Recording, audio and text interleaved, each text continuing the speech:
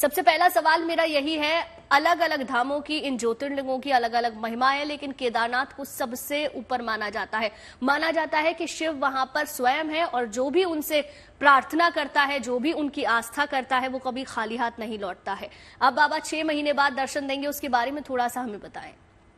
देखिए ऐसा है कि केदारनाथ धाम तो है लेकिन मेन वो जो है द्वादश ज्योतिर्लिंगों में से एक ज्योतिर्लिंग है। कहते हैं कि घुसमे संच शिवालय, जो आपके द्वादश ज्योतिर्लिंग है सौराष्ट्रे सोमनाथंचा श्रीशैले मल्लिकार्जुनम उज्जैन्याम महाकालम ओंकालम ममलेश्वरम परल्याम वैद्यनाथंचा डाकिन्याम भीमशंकरम सेतु वंदे तु रामेशम नागेशम दारुकावने वाराणस्याम तो विश्वेशम त्र्यंबकम गौतमी तटे।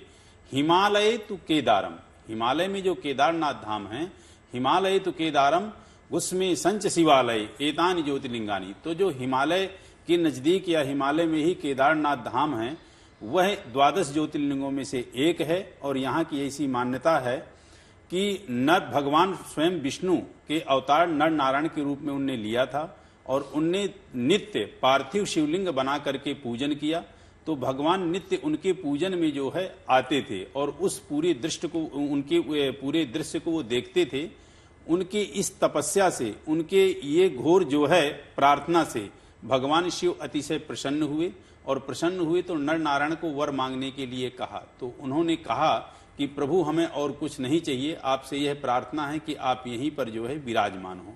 तो वहाँ भगवान शिव जो है, शिवलिंग के रूप में विराजमान हुए, जिनको स्वयं स्वयंभू कहते हैं। एक ये है, दूसरी मान्यता ये है कि महाभारत में जब अर्जुन पांडव आदि ने सभी ने जो है तो विजय प्राप्त कर ली तो भ्रातृ हत्या का जो उनको महापाप लगा, इस महापाप से वो अपने आप को जो है प्राश्चित करने के लिए या उस पाप से मोक्ष प्राप्ति के लिए भगवान शिव के यहाँ गए, यह उनको जो है भगवान श्री कृष्ण ने सुझाव दिया।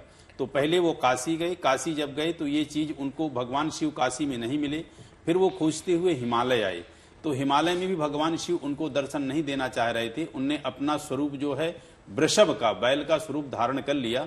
लेकिन भीम ने जो है अपनी अथक प्रयास के साथ उस स्वरूप का भी उनने ढूंढा और उनको ढूंढ करके उनसे आग्रह और प्रार्थना की तो भगवान यहाँ जो बसे हुए हैं, वृषभ के रूप में बसे हुए हैं। तो ऐसी दो मान्यता है।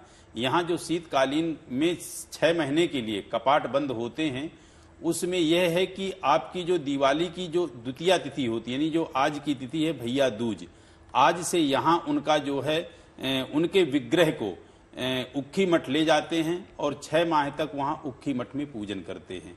यहाँ उनके पूजन का भैरव जो है, उनका पूजन करता है और यहाँ पे एक ज्योत, अखंड ज्योत प्रज्वलित करते हैं, जो छह माह के बाद जब कपाट खुलते हैं तो वो ज्योत जैसी की तैसी प्रज्वलित मिलती है। तो ये यहाँ का एक विशेष वो है।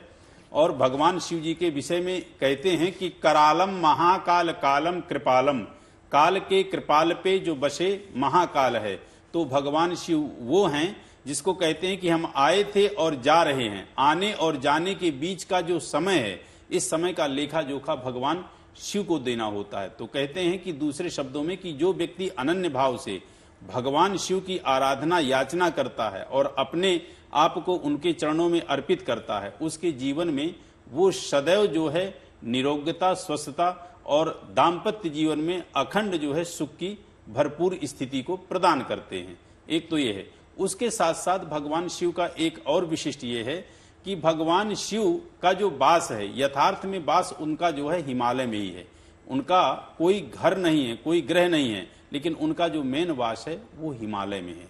और कहते भी भगवान शिव के विषय में कि शिव सम योगी नहीं, अर्थात वह योगी हैं। और वह ऐसे योगी हैं कि स्वयं में कुछ उनने नहीं लिया, लेकिन पूरे सचराचर ब्रह्मांड को हर चीज़ का जीवन दान दिया। आप देखें, जब समुद्र मंथन हुआ तो समुद्र मंथन में जो कालकूटक नामक विष निकला, उस विष का पान उनने स्वयं किया। शायद उस विष का पान वो ना करते तो जड़ और चेतन इस ब्रह्मांड से पूरी तरह से नष्ट हो जाते, खत्म हो जाते। इसीलिए उन्हें कहा गया है कि देवों के देव और हर हर महादेव, जो हर पीड़ा को, हर कष्ट को, हर क्षण हरण करते हैं, हर शब्द का मतलब ही होता है हरण करता और जीवन को जो है व्यक्ति को और सचराचर ब्रह्मांड के प्राणियों को हर तरह का जो है जीवन उनने प्रदान किया।